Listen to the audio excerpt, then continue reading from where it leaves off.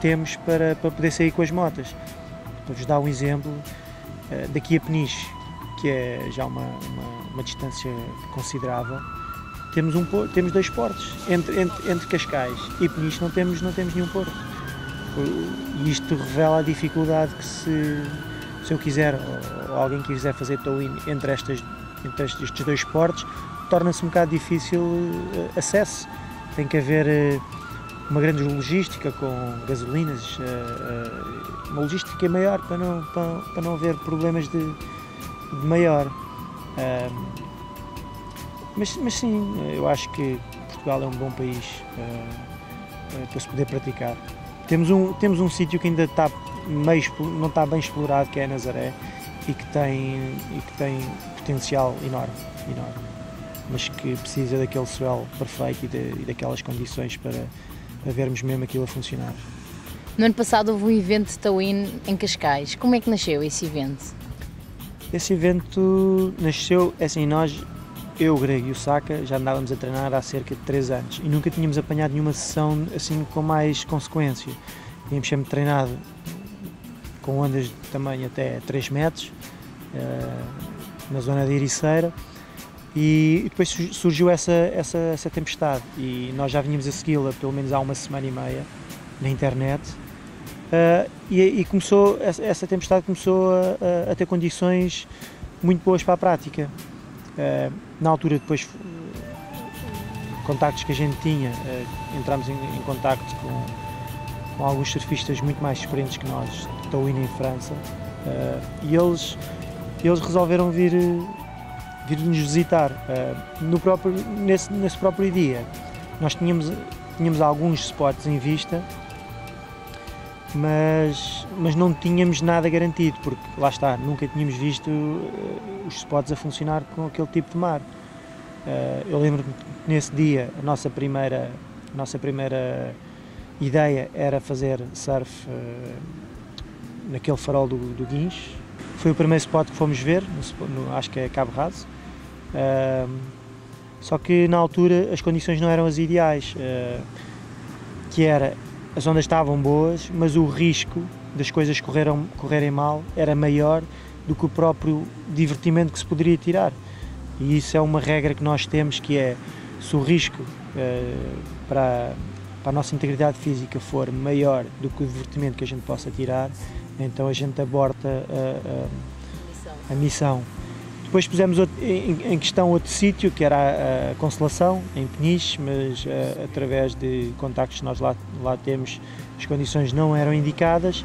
E depois, por curiosidade, fomos, fomos, fomos passar pela, pela Marina de Cascais e constatámos que havia umas ondas interessantes que se podia fazer pronto, preparámos, já tínhamos a logística toda, foi só questão de montar as coisas e ir experimentar. Uh, e pronto, saiu uma coisa divertida, divertimos muito e foi uma experiência, foi a primeira e até agora se calhar a maior experiência que nós tivemos. Uh, pelo que deu para reparar é preciso haver uma preparação porque não, o towing não se pode fazer assim automaticamente. Vocês chegam através da internet, as tempestades, o vento, o mar, etc, não é? Sim, exatamente. A gente, a gente tem uma preparação pelo menos entre uma, uma semana e meia a duas semanas. Uh, a gente precisa ter a certeza que nada vai falhar. Uh, se bem que às vezes o mar falha, mas isso são, são consequências de um, de um desporto que, que lida 100% com a natureza. Mas há outras coisas que têm que, têm que estar sempre em, em, em alerta e que nunca podem falhar, como os meios técnicos, a moto. Uh, é óbvio que a gente tem que ter a certeza que a moto não vai parar no meio do mar.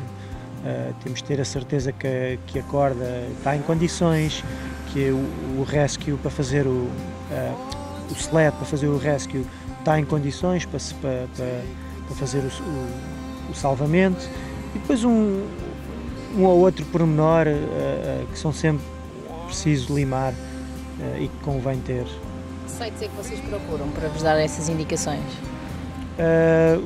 Uh, assim, a gente, eu essencialmente eu funciono para ver o mar, as previsões, eu funciono com o FUNOC. Mas há outros sites como o Inguru uh, e há outros sites que se podem consultar através dos sites de, de, de previsões de mar portugueses.